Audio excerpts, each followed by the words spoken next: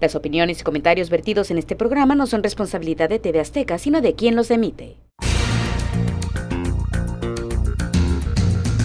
Autismo. ¿Dónde empieza la tarea? En México, uno de cada 115 niños tiene autismo, es decir, ya existen 400.000 niños autistas en todo el país. En los Estados Unidos esa cifra es mayor porque se sitúa en un niño cada 68 este trastorno psicológico que generalmente dura toda la vida y que afecta a una persona en su mundo interior, además de la progresiva pérdida de contacto con la realidad exterior, va en aumento. ¿Qué tan listos estamos en México y particularmente en nuestro estado para darle adecuada atención a este problema creciente? ¿Cuál es la aportación concreta de los gobiernos y la iniciativa privada para estar mejor preparados en estos casos? Estas interrogantes y otras del interés general sobre el tema serán abordadas por nuestras expertas invitadas de hoy sobre la mesa. Comenzamos.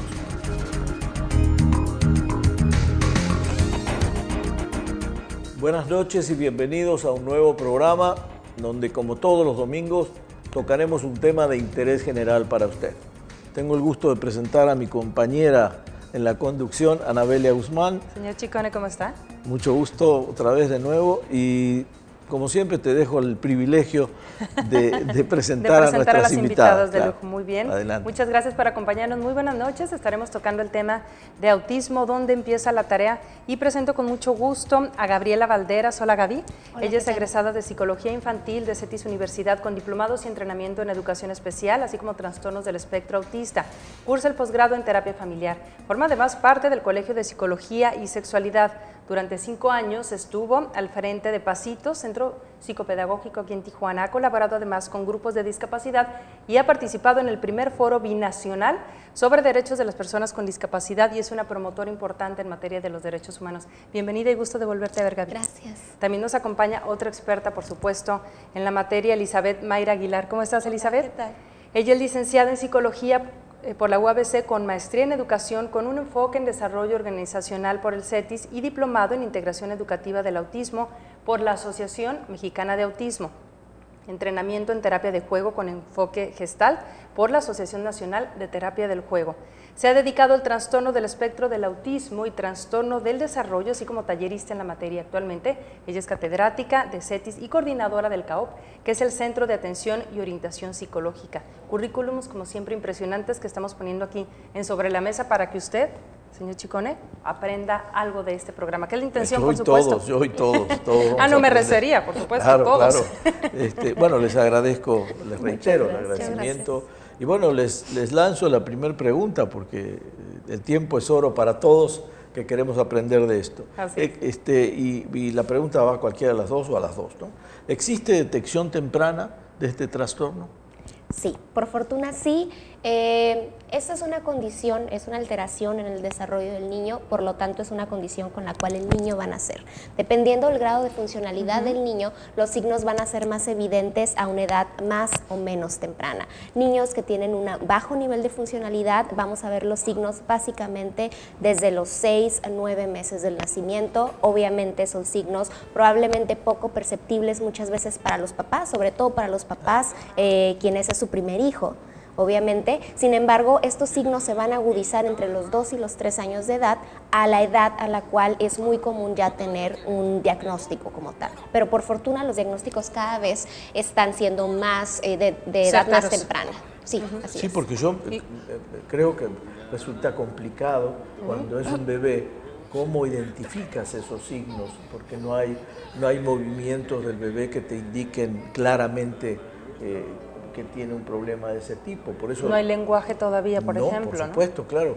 Entonces estamos eh, desprovistos de un montón de auxiliares que nos dicen que tiene ese problema. Por eso este, la detección temprana me imagino que vendrá este, a, partir de, una, de algún tipo de reacción del niño. ¿no? Así es. Eh, sin embargo, justo como ustedes mencionan, aun cuando el lenguaje, por ejemplo, todavía no va a estar presente en el primer año de vida, sí hay los prerequisitos del lenguaje.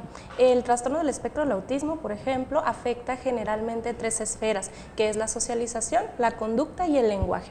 Y estos tres hitos del desarrollo están presentes desde los primeros meses de vida de los niños. Aquí lo importante para el padre de familia es que con, reconozca, por ejemplo, que hay previo al lenguaje. Y, por ejemplo, previo al lenguaje está el balbuceo. Previo al lenguaje se encuentra que ante la mirada de la mamá el niño se quede establece contacto exactamente. que haya un intercambio de gorgoreos o de sonrisas y que el niño esté capto a la atención de su mamá. Por ejemplo estos son algunos de los indicadores que de pronto no se alcanzan a percibir en los primeros meses y podemos escuchar al padre de familia que nos dice bueno es que mi niño eh, le gusta más ver el móvil de su cuna o le gusta ver más más que vernos a nosotros, le gusta el juguete que da vueltas. Eso no es normal, no es un... No es que no sea normal, sino esperaríamos que un bebé tanto ponga atención a estos móviles como hay una intención comunicativa con las personas que hay a su alrededor. Claro, porque antiguamente tú decías eh, a un niño, por ejemplo, tú dices el, balbuceo, cuando a un niño le hacías a go o le hacías la, seña clásica, eh, a los tres, cuatro meses el niño te sonreía, te respondía con una sonrisa o un intento de sonrisa. y, me imagino que esa será la, parte de la detección, de darse cuenta cuándo es. Ahora, el, eh, eh, ¿los padres se resisten a, hacer ese tipo de control o, son conscientes de eso cuando van al pediatra, el pediatra si le platican esto? el padre colabora, esa es la pregunta. Claro, a veces resulta un poco más difícil de detectar para el padre primerizo. Es decir, mm. cuando un padre de familia o una familia ya tienen dos hijos eh, anterior a este, querramos o no, empieza a haber una comparación en cuanto a que el hermanito anterior habló a los nueve meses o a los doce meses y este pequeño son los 12 meses o los 18 meses, que será un año y medio, y no habla aún, ¿no? Eso vuelve más fácil para el padre de familia que de manera más pronta se percate que algo está pasando en el desarrollo de su hijo. Sin embargo, eh, afortunadamente, gracias a este tipo de programas, eh, la comunidad está un poquito más consciente, más alerta, más atenta de lo que se espera del desarrollo. Nosotros cuando trabajamos en detección, mucho de lo que hacemos con los padres de familia es esto, explicarles sobre qué es lo que se espera en el desarrollo normal de cualquier niño y que si tu hijo no está llevando este desarrollo neurotípico, como nosotros lo llamamos, acudas con un especialista. Y que, bueno, este te lleve o te canalice hacia el siguiente especialista idóneo. Generalmente la primera persona a la que van a acudir es el pediatra y afortunadamente hoy por hoy, Gaby no me dejará mentir, los pediatras tienen cada vez más conocimiento del desarrollo típico y no típico de los niños y son quienes generalmente de manera más recurrente nos están mandando a los niños a los consultorios y eso permite la detección temprana. ¿Se puede confundir con sordera eh, inicialmente? Por supuesto, se puede confundir eh, con sordera se puede confundir con algún otro tipo de trastorno o síndrome o simplemente con eh, un retraso en el desarrollo. Sin embargo, como lo mencionó Elizabeth, eh, por fortuna los primeros cuidadores de los niños eh, o quienes les brindan cuidado en la salud, por ejemplo, como los pediatras o en las guarderías, sobre todo aquellas que son parte del Seguro Social, cada vez tienen más entrenamiento en, respecto a los estadios del desarrollo del niño y hacen una pequeña evaluación que le permite tener a los papás un especie de parámetro, porque probablemente sean papás primerizos, pero bueno, eh, ellos les pueden dar indicadores de debería estar pasando esto y aún no sucede. Claro, hasta qué punto está pasando algo que sale de lo normal. Ahora, señor Chicón, hay que entender que es una discapacidad, ¿verdad?, del autismo. Mucha gente lo desconoce, por ejemplo. Así es. Y esto es algo eh, reciente, es algo bastante reciente. Por fortuna eh, se han hecho, nuestro Estado ha sido líder en relación a, poder nombrar esto como una discapacidad y poder incorporarlo. Eh, el término muchas veces puede ser em, tal vez solo una etiqueta, pero, pero hace un cambio significativo respecto a qué tipo de servicios y qué tipo de derechos tiene esta población que muchas veces estuvo por muchísimos años de alguna manera eh, en, en, una laguna, porque no... Como en un limbo, ¿no? Exactamente, porque no se nombraba como una discapacidad como tal, pero eh, tampoco se le proveía otro tipo de, de código en el cual se le brindara esta atención. Y gracias a eso se hacen muchísimas reformas respecto a la ley que obviamente obedecen a que hay un poco más de recursos, ¿no? Que al final de cuentas se traducen eso, en recursos de salud, de atención médica, de educación, etcétera. Y de seguimiento a los casos. Por supuesto. Una vez que se detecta que el niño tiene un desorden en ese, en ese sentido, me imagino que empieza, bueno, la, la guía de ustedes y los padres. Yo, a mí me preocupa mucho qué tanto los padres siguen al pie de la letra esto. Es decir, una vez que detectan y ya, ya está comprobado que el niño tiene ese problema, eh, ¿cómo se encaminan ustedes a los padres para que esto lleve a un buen cauce y para que el niño tenga una vida más o menos normal dentro de su trastorno, sí, dentro de su desarrollo con su trastorno ya, ya definido, ¿no? o ya por lo menos detectado?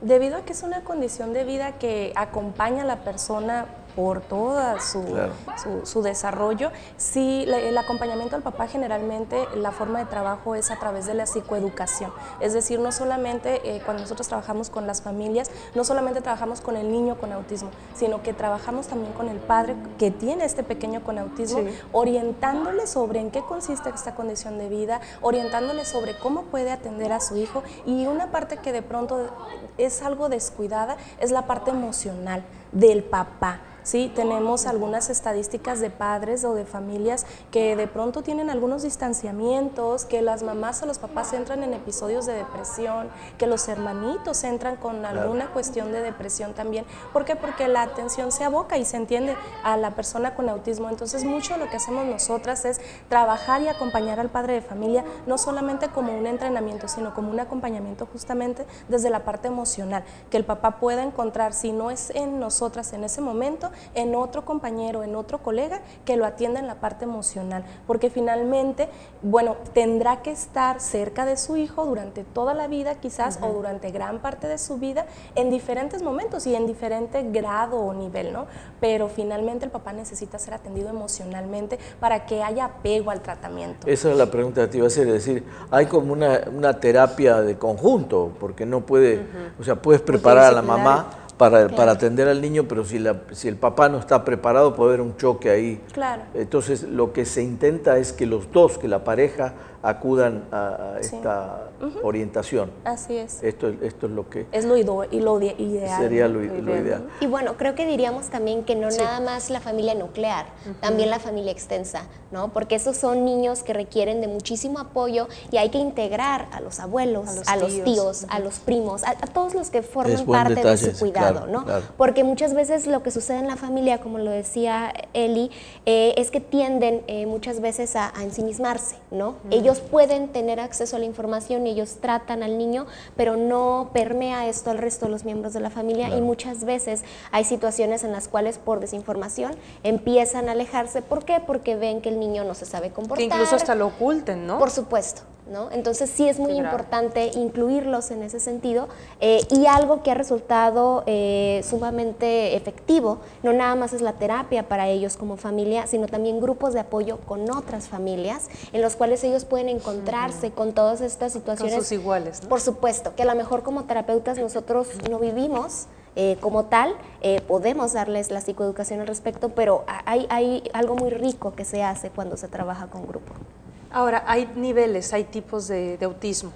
Platícanos un poquito sobre, eso. Así es. las dos. Recientemente eh, hubo un cambio en la, en la clasificación. Antes le llamábamos trastornos generalizados del desarrollo. Había cinco tipos, entre ellos estaba el síndrome de Asperger. Ahora hablamos que eh, se le denomina como trastornos del espectro autista, en, la cual, en, el cual hay tres niveles, ¿no? De el uno, que es el que menor asistencia requiere, al, al tercero, ¿no? Es de, de, de menos severidad a mayor severidad. Y digamos, el que padece el tipo 1 es una persona que puede llegar a hacer su vida hasta cierto punto normal, vivir sola, casarse, o en, ninguno de los, de los tipos. Eh, claro, depende, depende del grado de funcionalidad, este tipo de expectativas, ¿no? que puedan incluirse a la parte laboral, que puedan formar una familia, pero por supuesto eh, es de alguna manera de, acuerdo a las características y al tratamiento también que tenga cada persona. ¿no? Justo hablar de un espectro alude a, al hecho de que todos dentro de esta mesa, por ejemplo, podemos tener esta misma condición de vida que se llama trastorno del espectro del autismo. Sin embargo, lo que va a ser diferente es el nivel de afección en cualquiera de estas tres áreas, que también hay una, una modificación y se conjuntan en dos áreas nada más. Pero seguimos evaluando lo mismo, lenguaje, comunicación y la socialización, ¿no? Pero eso es lo que lo vuelve eh, diferente, ¿no? Hablar de un espectro alude a que todos podemos tener esta condición de vida, pero con un nivel de severidad distinto. Siempre que hablamos de autismo pensamos en niños, pero está el adulto autista, está el que necesita una orientación.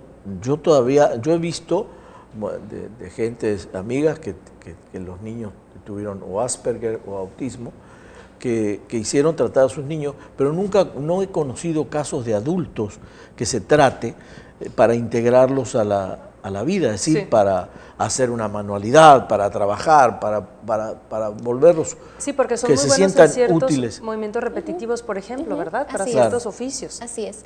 Y lo más probable, señor Chicón, es que sí los haya visto. Eh, pero probablemente tienen otro nombre, ¿no? Antes se confundía, estoy hablando de hace 30, no, 50 años, se confundía con esquizofrenia, con un tipo de esquizofrenia, no? O se confundía mucho con un tipo de discapacidad intelectual, o con sordera, o con eh, cualquier tipo de situación exactamente que no era parte de. ¿No? Entonces, eh, probablemente sí han estado ahí, pero eh, no se les ha denominado y no se les ha dado el tratamiento y por supuesto que los síntomas entonces son mucho más severos y el grado de inclusión social que puedan tener pues es mínimo, ¿no? Cuando no se les da el tratamiento. Eso te les iba a preguntar recién, el síndrome de Asperger se supone que es este de autismo de nivel alto o, o, es, o el mismo síndrome, el síndrome pertenece a un subgrupo del del autismo? Es una pregunta. Hoy por hoy, desde el 2013, si no me falla la memoria, eh, en México estamos ya trabajando con esta nueva denominación y se hablaría aquellos jóvenes que fueron diagnosticados con trastorno de Asperger o los que estamos diagnosticando hoy por hoy, eh, generalmente van a quedar bajo el código diagnóstico de trastorno del espectro del autismo nivel 1. La mayoría de ellos. O sea que vendría a ser un subgrupo de está dentro de este espectro. y los jóvenes o niños que tienen un autismo moderado o severo quedarían con un trastorno del espectro del autismo nivel 2 o nivel 3 y los pequeños con la condición de autismo más severa quedan en este TEA nivel 3. ¿Qué tanto los gobiernos se ocupan de esto? Porque cuando leímos recién las cifras de un niño cada 115 ya no es cualquier cosa, ¿eh? ya, es, ya es mucho. ¿Qué tanto los gobiernos eh, despliegan eh, comunicación en este sentido y, familiarizan a la gente con el lenguaje. Bueno, en un aspecto para que la comunicación no espante, porque es lo que sucede a veces cuando no se conoce el nivel de cada problema, o te espantas o al revés, ah, te, te, vuelves indiferente porque dicen, no, ya se le va a pasar o ya, no sé, o cualquier otro tipo de reflexión eh, eh, poco profesional o poco informada y eh, por eso pregunto si los gobiernos se encargan de eso, es decir, los gobiernos hacen difusión del autismo o, o, cómo controlar este, este problema o, sienten que es insuficiente lo que se ha hecho por parte del gobierno y después les pregunto de la iniciativa privada, pero por ahora el gobierno. Creo que hoy por hoy nuestro país eh, está tomando cartas en el asunto. En la Ciudad de México existe una clínica que se ha dedicado propiamente a la atención de esto. Eh, es una C, pero finalmente ha estado ah, generando ¿no? información, movilizando, profesionalizando gente, profesionistas y en nuestro estado tenemos dos instituciones de gobierno que se han dedicado desde unos años a la fecha a llevar a cabo también la detección temprana, justamente porque a raíz de estos diagnósticos tempranos, pues las cifras pareciera ser que van en incremento. De pronto algo que nos preguntan constantemente es, ¿qué está pasando? No? Eh, ¿Por qué antes había menos eh, niños con diagnóstico y hoy por hoy tenemos más? Hablamos de 115 niños, ¿no?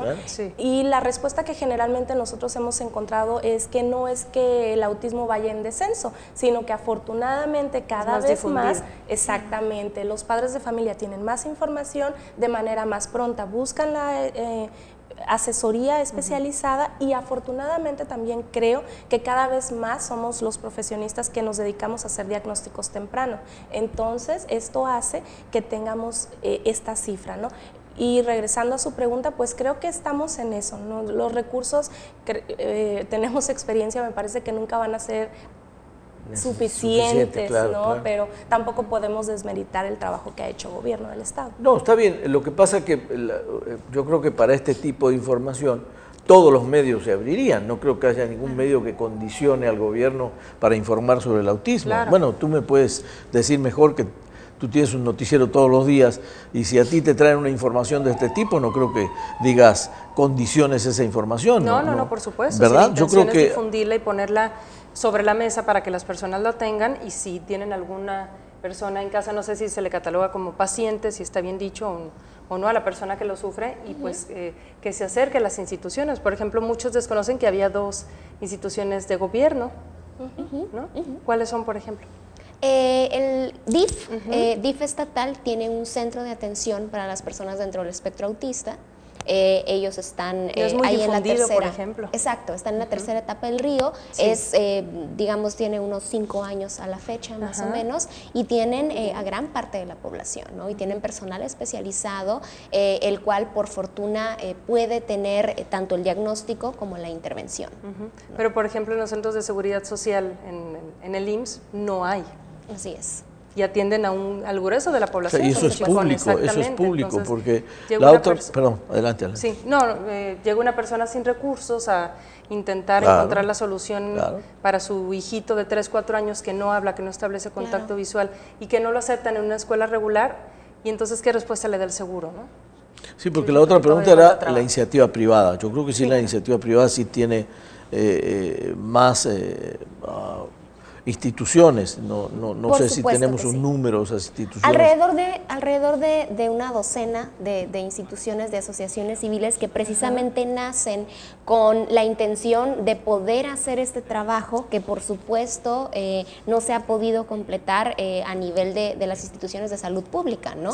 Entonces, eh, por supuesto que nacen a través de eso y empiezan ya sea cada una a hacer algo distinto, ya sea la intervención educativa, la inclusión social, o la parte de la detección y el tratamiento. Y por supuesto que ya posteriormente hacen algún tipo de alianza en la cual eh, gobierno puede dar algún tipo de recursos, ya sea a través de convocatorias y demás, pero eh, digamos el grueso de, los recursos vienen también eh, de las, por ejemplo, las empresas socialmente responsables, ¿no? que muchas veces hacen este tipo de apoyo para que las asociaciones civiles puedan seguir funcionando y dar este tipo de atención. Ahora, eh, vamos a hacer una pausa ya en unos minutos, señor Chicone, pero creo que tenemos todavía tiempo para que nos platiques un poquito. El CAO, por ejemplo, es una interesante alternativa, ¿no? Sí, eh, pues es un centro de atención y orientación psicológica que pertenece a CETIS Universidad. Eh, está conformada por estudiantes de, las, de los últimos semestres de la carrera, que es séptimo y octavo, y bajo supervisión de maestros, ellos llevan a cabo los procesos de terapia. Y el semestre pasado iniciamos con lo que es el ala, el ala o el área de evaluación, en donde los muchachos están empezando a hacer las primeras evaluaciones, no propiamente de autismo, sino de trastornos del desarrollo o del lenguaje, pero siempre bajo la supervisión del equipo de profesionistas, porque ellos aún están eh, este, como practicantes. ¿no? Familiarizados con el tema. Y sí, durante este semestre se hizo una detección, por ejemplo, de un pequeño dentro del espectro. Interesante. Importante, para que ya se le empiece a dar seguimiento ¿no? y se le canalice. ¿Cómo responden las, las empresas o en general la iniciativa privada a este tipo de iniciativas? Tú estuviste al frente de una institución un tiempo y, bastante y sabes perfectamente eh, qué tan sensible son, son las empresas a, este requerimiento? Por fortuna, eh, todas eh, o la mayoría de ellas eh, tienen mucha sensibilidad respecto a su responsabilidad social. ¿No? Entonces, cada una, de acuerdo a sus posibilidades, daban alguna aportación, ya sea permitiéndonos informar a sus empleados, que eso ya es, estamos hablando de empresas o de maquiladoras que tenían miles de empleados y por supuesto que eso ya nos permite tener un canal importante, algunas otras haciendo alguna aportación o bien logramos alianzas importantes en las cuales se pudo hacer inclusión laboral. ¿no? Es una excelente noticia, ¿eh? Sí, porque oímos hablar de las empresas de responsabilidad social, pero no siempre responden a esa etiqueta o ese rótulo. Yo creo o que se enfocan mucho, perdón, tal vez a la ecología y cuestiones de medio ambiente que por supuesto que son importantes atender, pero aquí la salud es vital. Pero es una excelente noticia la que nos das porque entonces sí las empresas están sensibilizadas y responden a, este requerimiento, que era la, preocupación que o quería oírte a ti que estabas ahí para, para decirlo. ¿La gente se puede comunicar a CAO, por ejemplo? Sí, claro que sí. Sí, sí, sí. Los teléfonos es 903-1800, extensión 285, de lunes a viernes, de 9 a 1 y de 3 a 7. Pues qué bien. que existen estas opciones. ¿Cómo estamos de tiempo, licenciada? Usted que es la que... a dos minutos de, irnos ya al corte. Pero bueno, pues agradecemos a, Gaby Valderas que se tiene ya que retirar. Muchas gracias por haber estado aquí con nosotros. Y pues qué importante, señor Chico, su, su labor frente a pasitos, por ejemplo, ¿no? Ahorita que mencionabas la labor de las empresas en pues tratar de convencerlas, por ejemplo, que consigan becas, ¿no? que patrocinen esos apoyos, porque mucha gente no puede pagar este, este apoyo para que su hijo pues se, se rehabilite. ¿Aplica el término? Eh, o se reintegre, ¿no? tenga una inclusión social, por así decirlo, ¿no? Eh, sí, el tratamiento es sumamente costoso porque incluye a mínimo eh, tres, cuatro, cinco especialistas, ¿no? En el área del lenguaje, en la parte neurológica, en la parte de la paidopsiquiatría, por ejemplo, en la atención psicológica. Entonces, es algo muy costoso, pero por fortuna tenemos una ciudad muy noble que responde ante esas necesidades eh, siempre y cuando tenga la información. Entonces, creo que por fortuna las empresas pueden brindar ese apoyo siempre y cuando estén informadas. Hago una precisión. Gaby nos va a seguir acompañando hasta el final del programa. La que tenemos que despedir es a Eli a una presión porque, porque luego, luego me van a decir en el corte que ya no está él y acá van a decir Esas vacaciones me afectaron. Muy bien. Qué bueno que corrige, señor. ¿Qué haría sin usted? Muchas gracias. No, por favor. Le agradecemos muchísimo eh, y bueno, esperemos que no sea ni el primero ni el último en este caso, o el primero y no el último, para volver a tocar el tema a fondo porque es importante la aportación de ustedes, sobre todo por el enfoque profesional y realista que le dan a la cosa porque, insisto, hay, la desinformación provoca otro tipo de, especulaciones que a veces no conviene que la gente los reciba de esa manera. Así que nuestro agradecimiento este, por tu presencia. un placer. Muchas gracias, Elizabeth Mayra Aguilar. Y bueno, Gaby permanece con nosotros. Si le parece, hacemos una pausa. Claro. Esto es sobre la mesa y estamos platicando sobre el tema autismo. ¿Dónde empieza la tarea? Ya volvemos con más.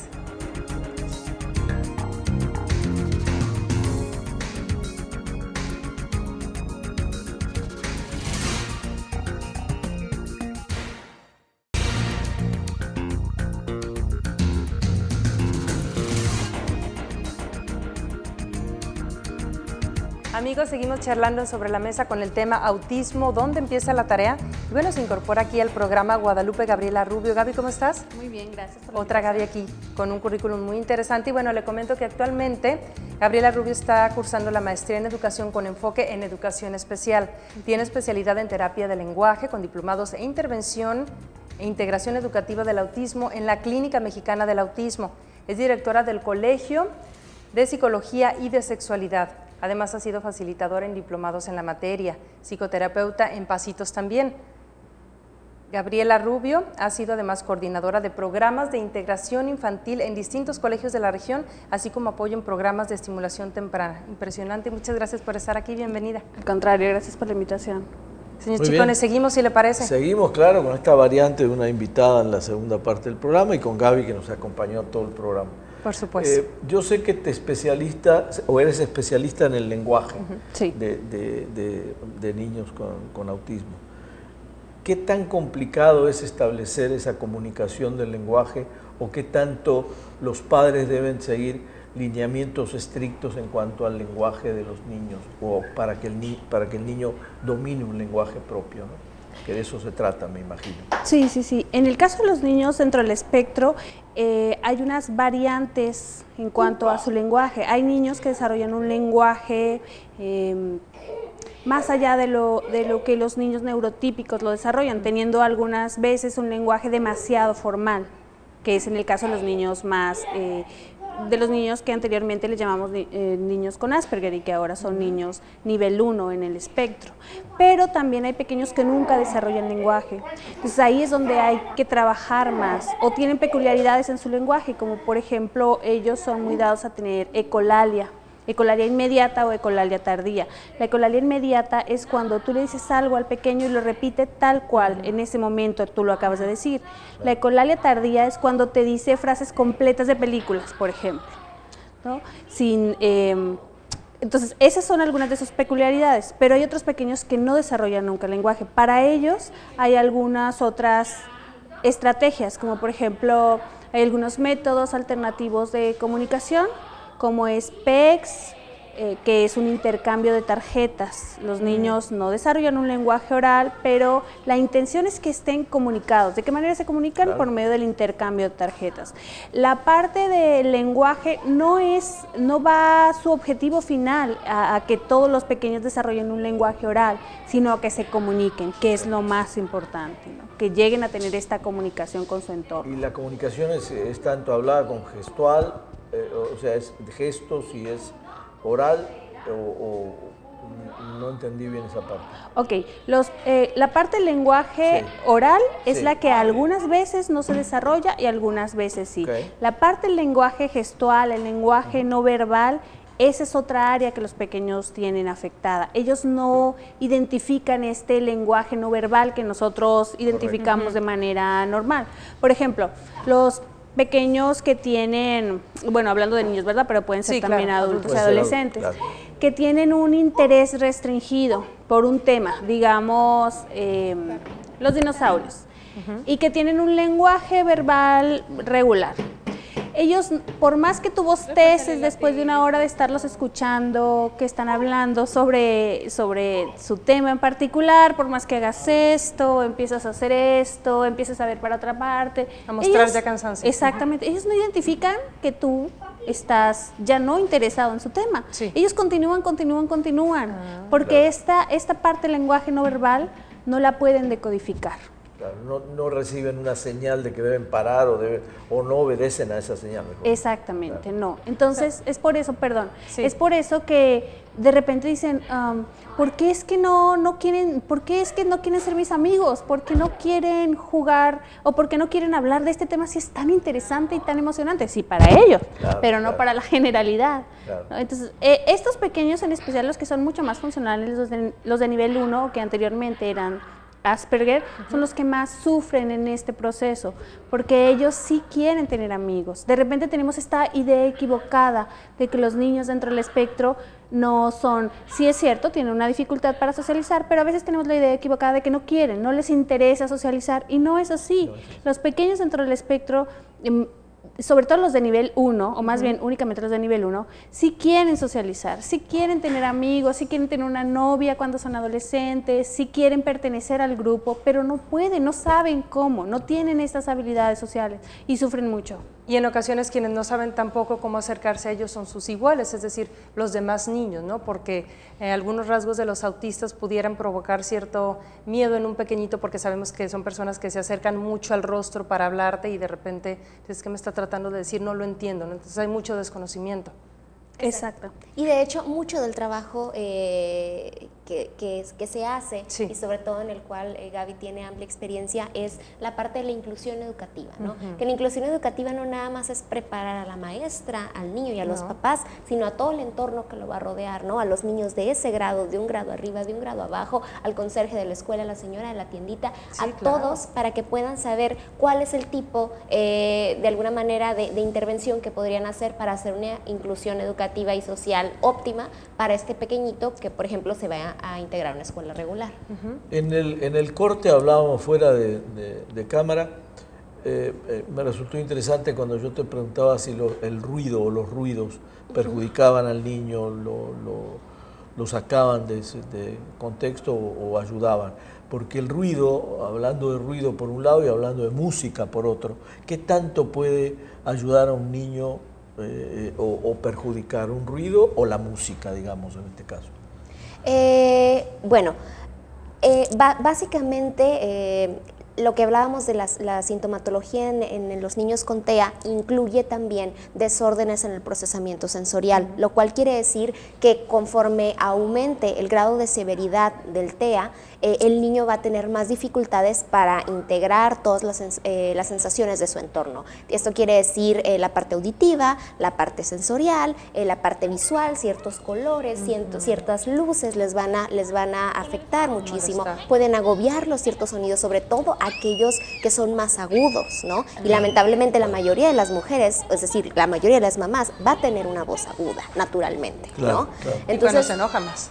Exacto. Entonces, ese tipo de sonidos pueden agobiarlos, ¿no? La aspiradora, la licuadora, mm. algunas texturas, eh, pueden ser también eh, hiperselectivos eh, para los alimentos, ¿no? Pero por el contrario, la música, hay muchísimas investigaciones, sobre todo aquellas que vienen eh, eh, de Francia, que se ha hecho una corriente que se llama musicoterapia, en la cual ha habido avances significativos y muy impresionantes en relación a cómo los niños pueden conectar eh, a nivel emocional con la música y pueden tener avances en la parte del lenguaje, como lo comentaba Gaby, y también en la parte de, su conducta, ¿no? Entonces eso es algo muy significativo. ¿Puede llegar un niño a tocar un instrumento, por ejemplo. Por supuesto. de hecho, tienen muy desarrolladas, señor Chico, en, mi poca experiencia respecto a niños que he podido entrevistar, y son niños muy artistas, ¿no? Para la pintura, por ejemplo. Así es. Eh, cada uno tiene sus habilidades dependiendo de su interés, que generalmente es repetitivo y restringido, lo cual les da la ventaja de ser expertos en lo que hagan, ¿no? Lo que les gusta van a ser unos genios en, eso. Tiene lógica, claro, porque la supraconcentración en algo. Por pues, supuesto. si el estarlo repitiendo tantas veces, pues lo, debe, debe tener un, tipo de ventaja. Quiere decir que en concreto la música los ayuda, cierto tipo de música los ayuda. Por supuesto. No, no, hay, no hay problema para eso. No, no lo hay. Y en cuanto al lenguaje, Gaby, ¿cómo, cómo se ven los progresos en el ¿Cómo, ¿Cómo se le indica al padre cuando el niño está progresando o se nota simplemente porque el niño empieza a, comunicarse mejor o es, es, lento el desarrollo? Me imagino que cada caso es independiente, pero ¿cómo, cómo, se, cómo se le da seguimiento a este proceso? Es que el lenguaje es un área muy interesante, porque el lenguaje pareciera que que se trabaja de una manera independiente a todo lo demás, pero en realidad si el, desarrollo del lenguaje se da conforme a lo esperado, todas las demás áreas se dan conforme a lo esperado. ¿no? Entonces, en un niño neurotípico, si el lenguaje se da adecuadamente en sus tiempos, no va a tener problemas en escritura, no va a tener problemas en lectura, en matemáticas, en socialización. Todas estas áreas tienen que ver con el lenguaje, pero si tenemos un problema desde el inicio en el lenguaje, con seguridad vamos a tener problema en lectura, en escritura, en socialización y en todas estas áreas. Todo que pareciera, parte del lenguaje. Exacto, todo parte del lenguaje. Parecieran cosas completamente distintas, pero no es así. Y en el caso de los niños dentro del espectro, eh, como decíamos, no necesariamente el objetivo es que, es que tengan un lenguaje verbal. Sí, sí, sí. La idea es que se comuniquen, porque decíamos que una de las áreas que tiene mayor afectación es la, la parte de la socialización. ¿Cómo es que los papás empiezan a ver los avances si el niño de todas maneras no genera lenguaje verbal en su conducta? La mayoría de los problemas de conducta de estos chicos y de cualquiera de nuestros pequeños ¿eh? es el no poder comunicarse. Si tenemos un pequeño que no puede decir cómo se siente, si no te puede informar qué es lo que necesita de ninguna forma, claro que vamos a tener un pequeño que tenga problemas de conducta. Porque al momento que no puede decir que la luz está demasiado fuerte y le lastima, ¿qué es lo que va a hacer? ¿Va a llorar o va a empezar a tirar cosas? ¿Va, a mostrar su molestia de alguna otra manera? Entonces, en el momento en que el pequeño se puede empezar a comunicar, ya sea con tarjetas, ya sea eh, de manera verbal, ya desde ahí empiezan a bajar estas conductas inadecuadas y el papá empieza a ver avances. Tal vez no va a tener el lenguaje que él esperaba o el lenguaje esperado para su nivel de desarrollo, pero otras áreas se van a ver beneficiadas. La parte de la socialización y la parte de las conductas inadecuadas va a bajar. ¿Cómo reacciona un, niño con autismo a la violencia familiar y no contra él precisamente, a una discusión de los padres o a una pelea de los padres o de los hermanos? ¿Cuál es la reacción de un niño en este, este caso? ¿Se encierra, grita? Depende del caso en particular, pero como ya mencionaba Gaby, es, estos pequeños tienen una, una diferente manera de procesar todo lo que viene del entorno. Entonces, pudiera ser que eh, dependiendo del tono de voz, que obviamente cambia cuando estás en una discusión, el pequeño va a empezar a reaccionar a este tono de voz, a estas, eh, no sé, caras que a pesar de que no puede decodificar, la sensibilidad de los niños es muy alta, ¿no? No el que hay algo fuera de lo normal. Pues, exactamente. Entonces, claro que va a empezar a reaccionar. ¿Cómo dependerá del pequeño, de cómo él eh, reaccione ante estos estímulos? tendrá que ser como casos, no podríamos decir que en la generalidad los niños todos se van a, a, Exactamente, no. Sería caso particular. Es cada, es cada caso y cada caso me imagino que requiere una guía especial o una guía particular para, Exacto. para cada cosa. Sí, de hecho, ay, perdón. Sí, adelante, adelante. Al momento de hacer el tratamiento, tiene que ser un tratamiento específicamente para este pequeño, aun cuando se trabaje dentro de una institución donde se especialice o se trabaje con 10, 15 niños dentro de un salón de clases y que todos sean dentro del espectro, el tratamiento, el plan de trabajo tiene que ser por pequeño, porque lo que se busca en un plan de tratamiento es potenciar sus habilidades, potenciar, eh, enriquecerlo con la mayor cantidad de, mm, eh, pues sí, de habilidades, ¿no?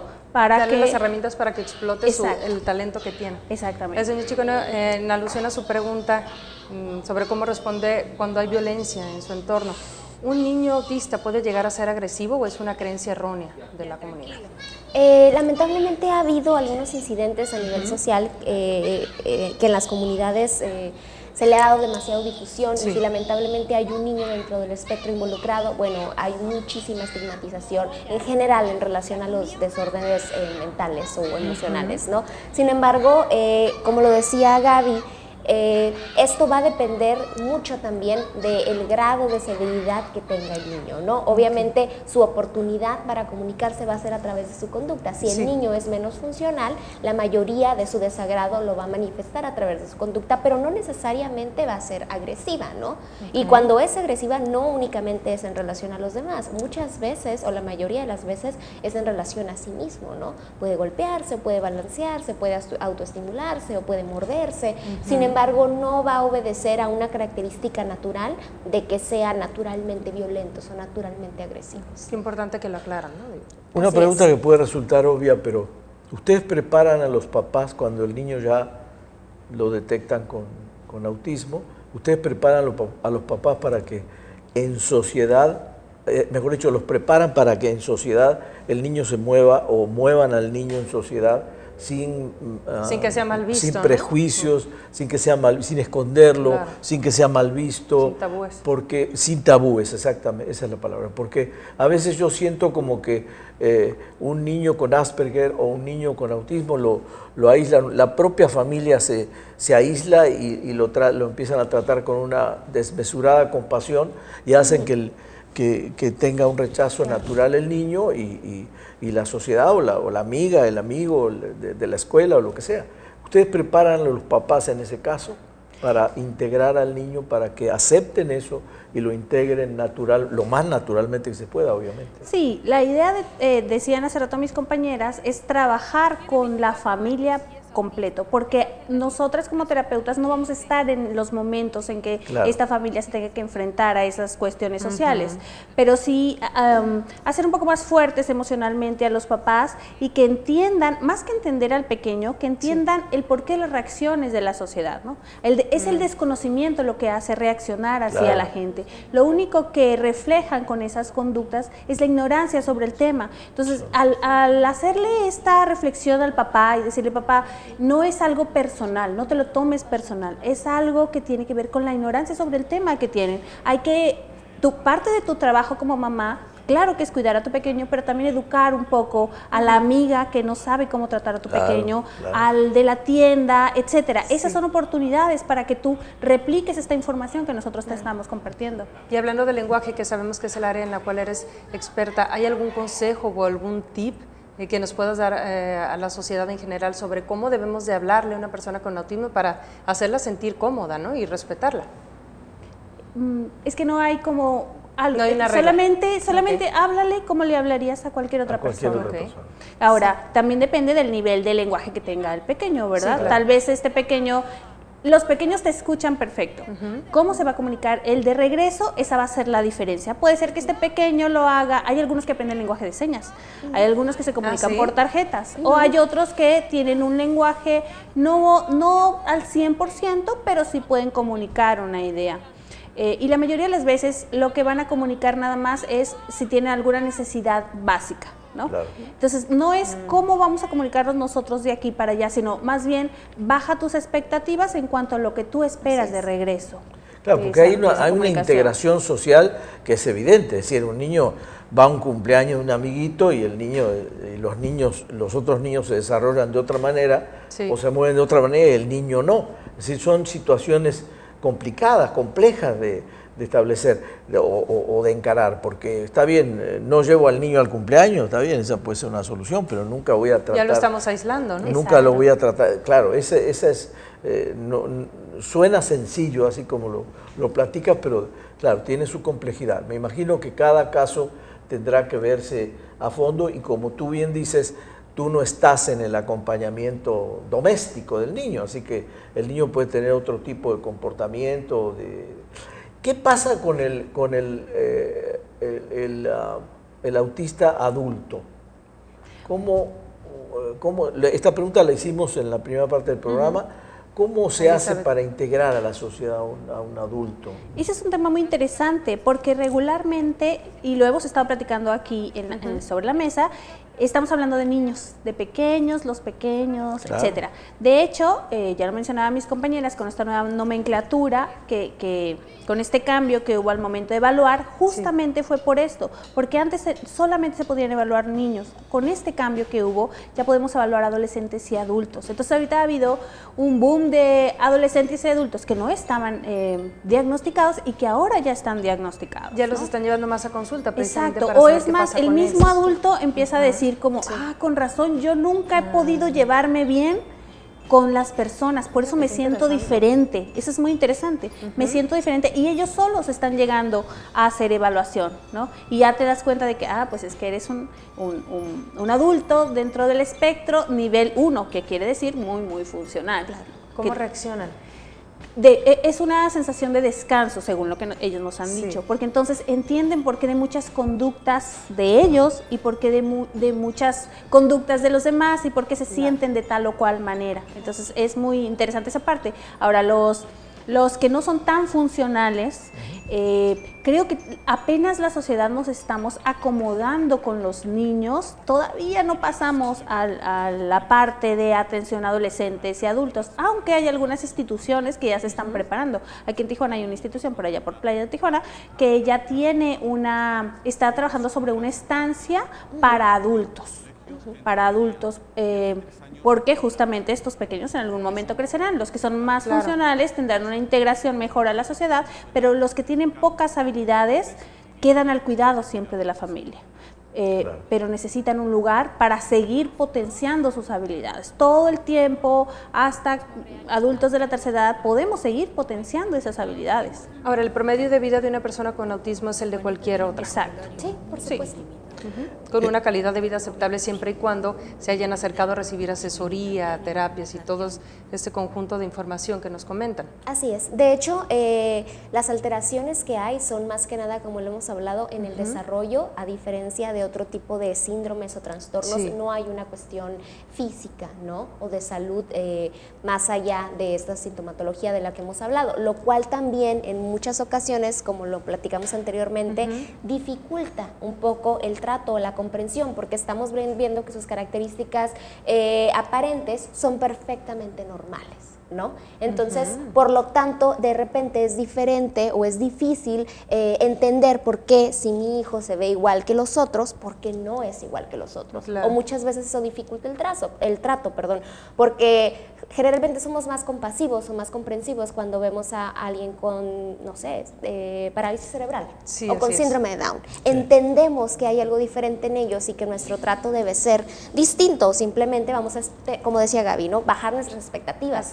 Pero con eh, los chicos o los adultos o los niños con TEA no lo sabemos porque su aspecto es idéntico. Y hay desconocimiento del tema, aún en estos días. Es difícil de, diferenciarlo.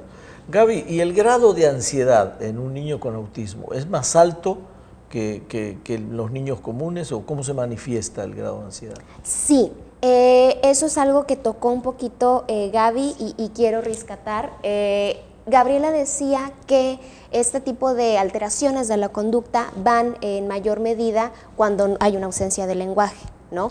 Y también eh, mencionaba Gaby que, por ejemplo, los chicos con Asperger, que son más funcionales, eh, niños o adultos eh, con Asperger, tienen mayor capacidad para entender sus diferencias. Por lo tanto, muchas veces hay una comorbilidad del TEA con trastornos de ansiedad social, por ejemplo, o con trastornos depresivos. Hay un mayor aumento en la incidencia de, por ejemplo, riesgos de suicidio eh, o de depresiones severas en las personas con Asperger que en las personas con TEA. ¿Por qué? Porque hay una evidente eh, comprensión de las diferencias o de las desventajas que tienen sociales y por supuesto que esto les permite eh, tener este tipo de depresiones o episodios de ansiedad o, trastornos o episodios de pánico, por ejemplo. Entonces la incidencia es mucho mayor.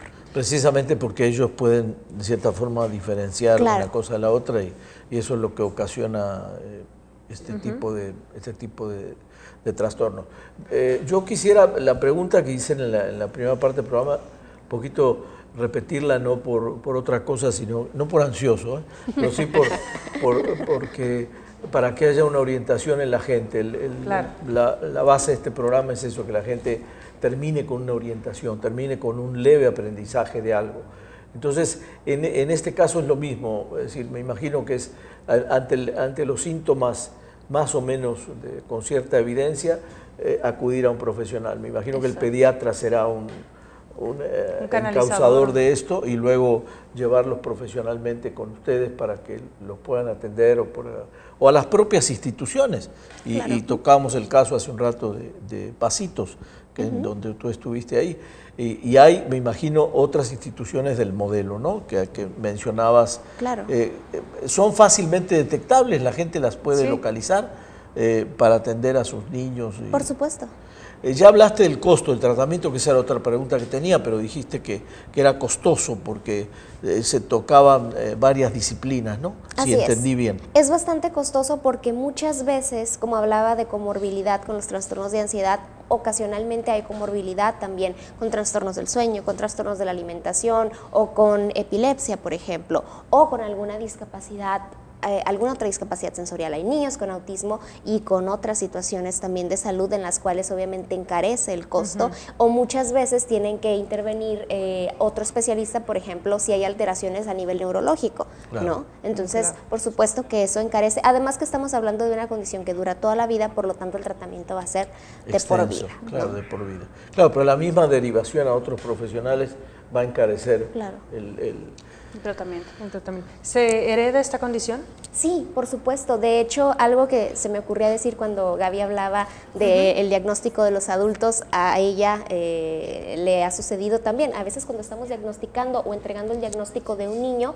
papá se da cuenta que cumple con varios de los, de los criterios o termina diciendo, bueno, es que creo que yo tengo lo mismo que mi hijo, obviamente en un grado mucho más ¿eh? funcional. ¿no? Nosotros conocemos familias en las que hay dos, tres, hasta cuatro hermanos con diferente nivel, del espectro del autismo. Y afecta más a los hombres, ¿verdad? Por supuesto, de 4 a 1. Una eh, niña por cada cuatro varones. Qué, qué proporción impresionante, ¿no? Pero, bueno, pues de ahí la importancia, eh, ustedes lo comentan y gracias por el halago en, programas como estos, ¿no? Que estamos poniendo pues sobre la mesa este, esta condición especial y el saber que hay pues que hay cura en ese sentido, ¿no?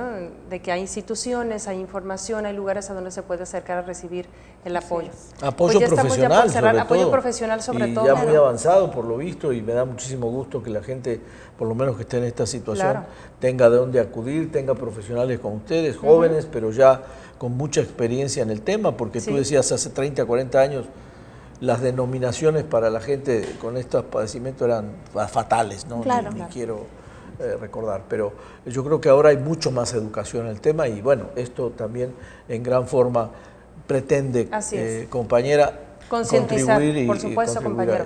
Bueno, yo les Algún cierre muy breve, si nos permiten, ya estamos a minutos. Eh, Gaby.